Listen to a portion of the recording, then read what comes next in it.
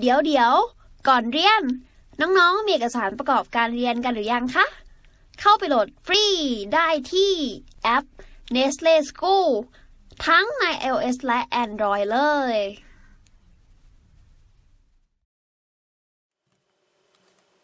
ค่ะ เรามาต่อกันเลยนะคะน้อง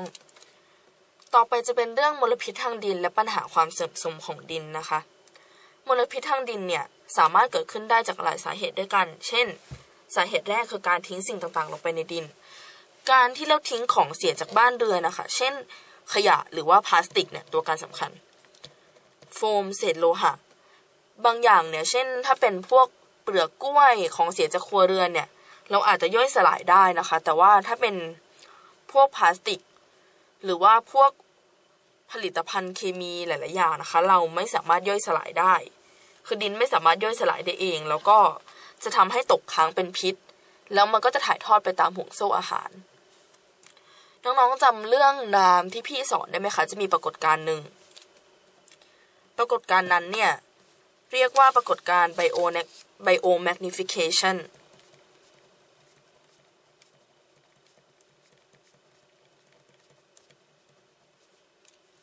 ปรากฏการณ์นี้เนี่ยกล่าวถึงสารพิษค่ะ ว่ายิ่งสารพิษเนี่ย ถ่ายทอดไปตามห่วงโซ่อาหารที่สูงขึ้นเท่าไหร่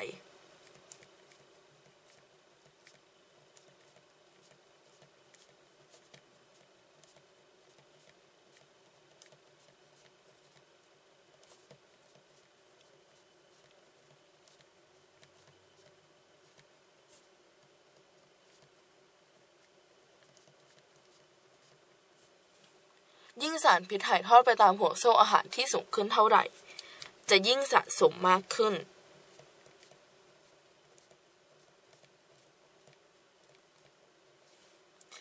เช่น สมมุติว่าสารพิษนั้นสะสมในสาหร่าย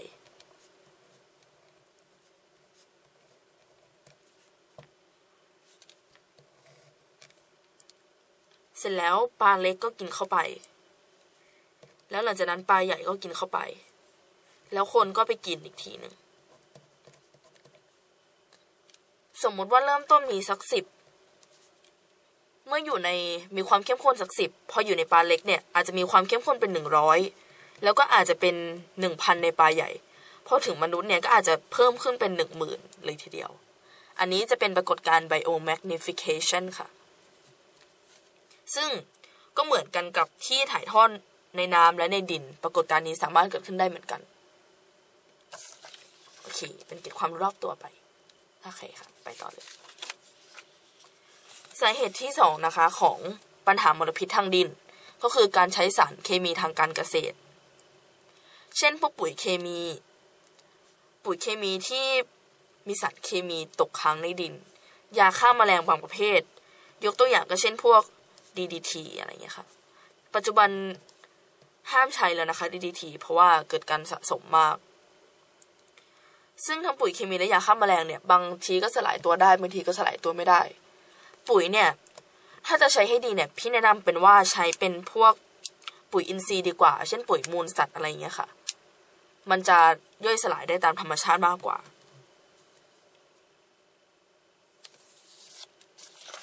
อันนี้เป็นความรู้เพิ่มเติมนะคะ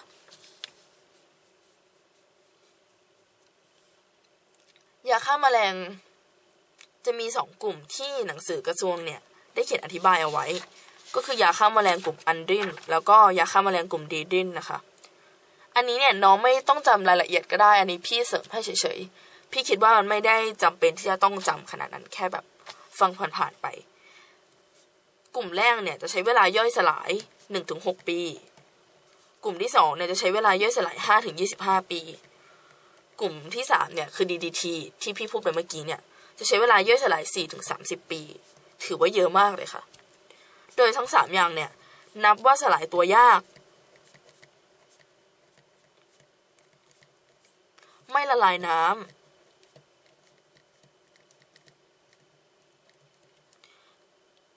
จึงเป็นอะไรที่ยากต่อการกำจัดให้หมดไปนะคะ แล้วก็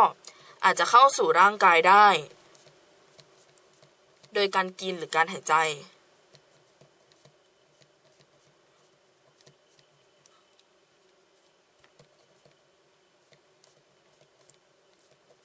เป็นเหตุให้เกิดการกระตุกหรือชักได้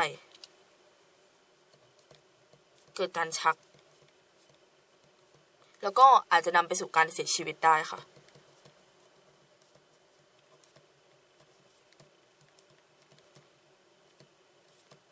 หากแบบกินสะสมในระยะเวลาที่นาน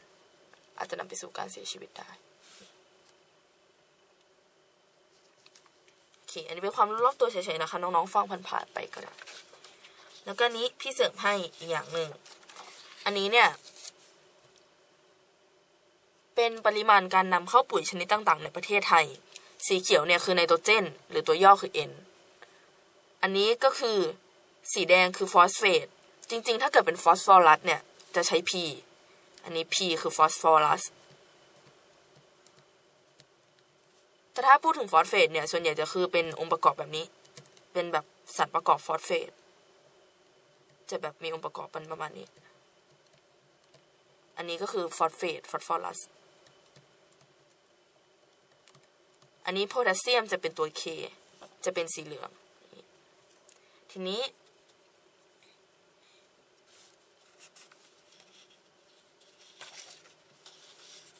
อันนี้พี่ชวนคิดจากกราฟนะคะ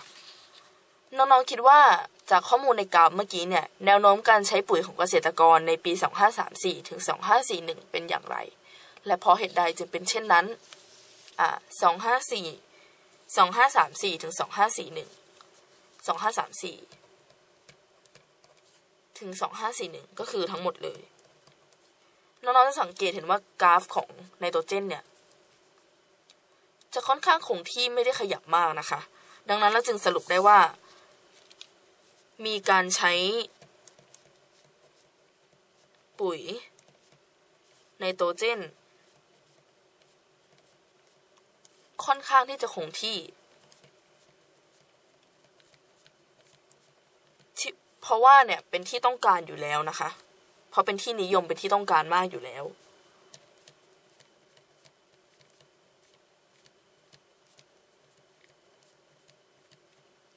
ไนโตรเจนเนี่ยจะช่วยในการบำรุงพวกแบบใบบำรุงใบพืช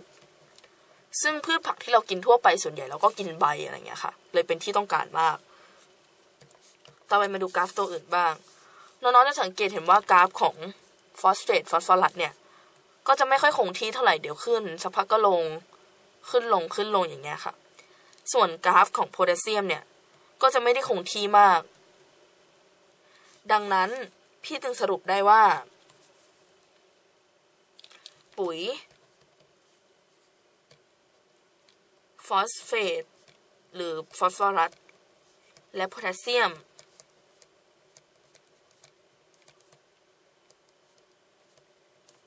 มีการนำเข้าไม่คงที่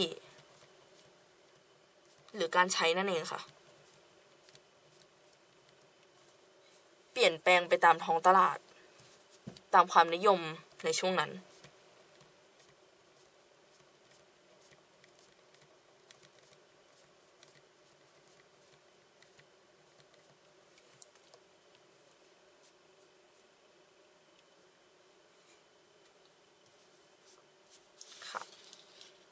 สรุปก็คือปุ๋ยไนโตรเจนค่อนข้างคงที่ เพราะว่า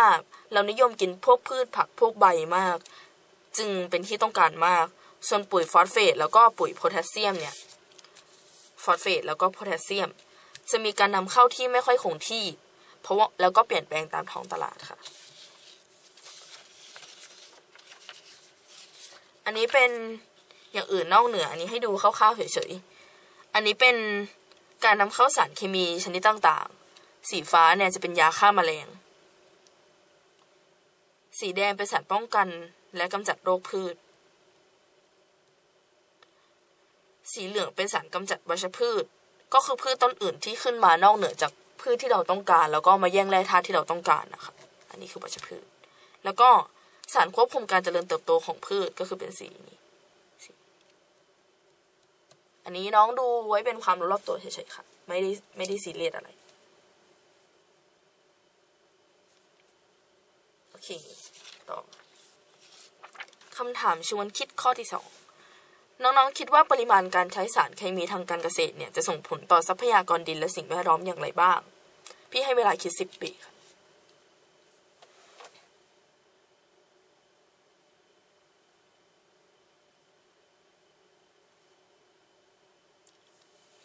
ค่ะการใช้สารเคมีทางการเกษตรเนี่ย หากใช้ปริมาณมาก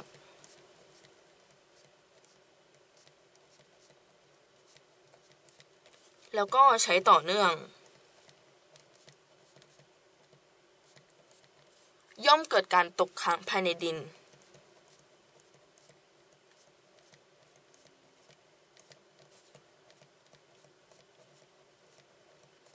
แล้วก็ส่งผลต่อพืชและสัตว์ชนิดอื่นได้ ที่อาศัยอยู่ในดินหรือว่าที่อาศัยอยู่บนผิวดิน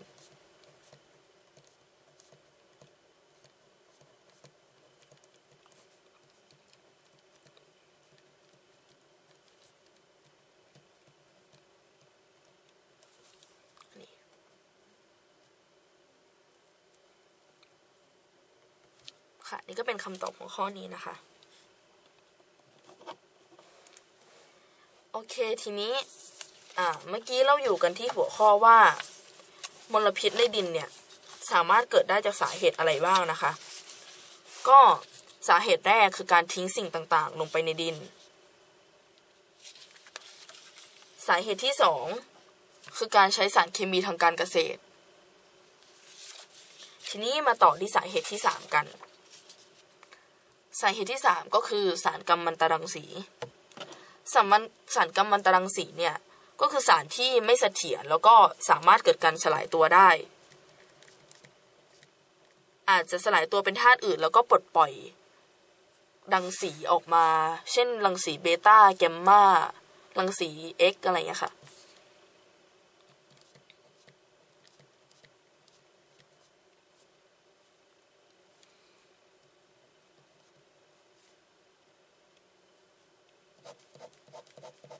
อันนี้พี่ขอเปลี่ยนเป็นไม่เสถียรแล้วก็ปล่อยรังสีได้ ปล่อยรังสีออกมา เช่น รังสีอัลฟาเบต้าแกมมาอันนี้น้องๆรู้ไว้เป็นความรู้รอบตัวก็ได้นะคะว่า รังสีอัลฟาเนี่ย ก็คือใช้สัญลักษณ์นี้ รังสีแกมรังสีเบต้า ก็คือใช้สัญลักษณ์นี้ รังสีแกมมาก็ใช้สัญลักษณ์นี้ โอเค เดี๋ยวน้องจะได้เรียนอันนี้กันต่อในเคมีหรือว่าฟิสิกส์ก็จะมีสอนกันสารกัมมันตรังสายขอโทษค่ะ สารกัมมันตรังสีจากการแพทย์เนี่ย เช่นพวกโคบอลหกสิบเช่นพวกไอโอดีนหนึ่งสามหนึ่งอะไรเงี้ยค่ะ ก็จะมีการกำจัดที่ถูกต้องหลังจากที่ใช้ แต่ถ้าหากเกิดการรั่วไหลลงสู่ดินเนี่ย ก็จะมีอันตรายที่สูงมากต่อสิ่งมีชีวิต อาจจะทำให้เกิดการกลายพันธุ์ในสิ่งมีชีวิตได้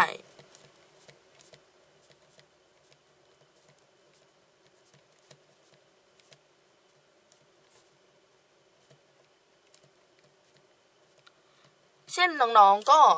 เคยเห็นข่าวกันไหมคะว่า ตอนที่ญี่ปุ่นเกิดแผ่นดินไหวเนี่ย แล้วโรงงานที่เป็นโรงงานผลิตไฟฟ้านิวเคลียร์เนี่ยระเบิดนะคะ โรงงานนั้นเนี่ยผลิตไฟฟ้านิวเคลียร์มาจากการใช้สารกัมมันตรังสี ดังนั้นเนี่ยเมื่อโรงงานไฟฟ้าระเบิดเนี่ยก็จะทำให้สารกัมมันตรังสีเนี่ยรั่วไหลลงสู่สิ่งแวดล้อม และเมื่อเกิดการรั่วไหลเนี่ยก็จะทำให้สิ่งแวดล้อมปนเปื้อน และใช้เวลานานกว่าที่จะกกว่าที่จะกำจัดออกไปได้หมด ดังนั้นเนี่ยทำให้สิ่งมีชีวิตในรุ่นลูกหลานต่อไปเนี่ยอาจจะเกิดการกลายพันธุ์ได้ ซึ่งเป็นเพราะไอ้พวกสารพวกเนี้ยจะเข้าไปทำลายสารพันธุกรรม หรือว่าไปทำลาย DNA ไปเปลี่ยนแปลง DNA ทำให้สิ่งมีชีวิตมีรูปร่างหน้าตาลักษณะที่ต่างออกไปนะคะ โอเค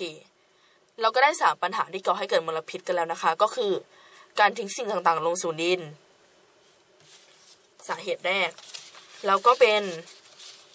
การใช้สารเคมีทางการเกษตร แล้วก็สารกัมมันตรังสีเป็นสาเหตุที่สามค่ะ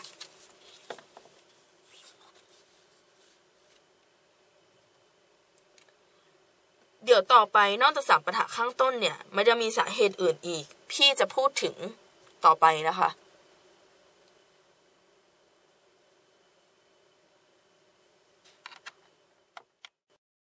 เรียนจบแล้ว อย่าลืม เข้าไปฝึกทำข้อสอบแบบจับเวลา ในแอป Nestle School กันด้วยนะจ๊ะ ถ้าน้องๆมีคำถามสงสัย ไม่เข้าใจตรงไหน ถามว่าในแอปได้เลย แล้วพี่ๆจะรีบเข้าไปตอบให้นะคะกินอะไรเนี่ยน่ากินทั้งสองอันเลย